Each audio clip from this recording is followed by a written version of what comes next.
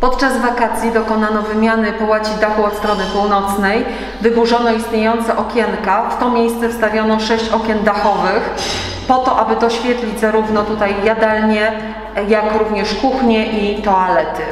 W ramach projektu Posiłek w domu i w szkole zostały ym, wyburzona ściana pomiędzy dwoma salami, przez to zrobiła się większa przes- przestrzeń.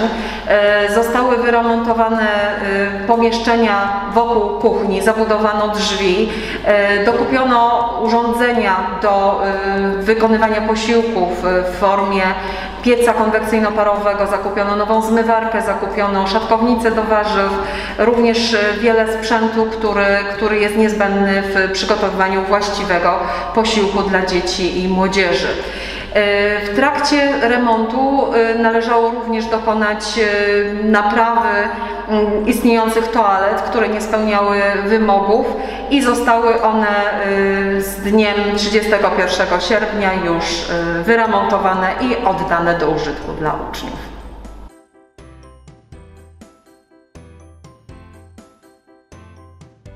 Dach został wyremontowany ze środków Urzędu Gminy. Kwota remontu ponad 60 tysięcy złotych. Natomiast jeżeli chodzi o remont jadalni i y, kuchni, kwota, y, którą pozyskaliśmy łącznie z wkładem własnym, to jest ponad 95 tysięcy złotych.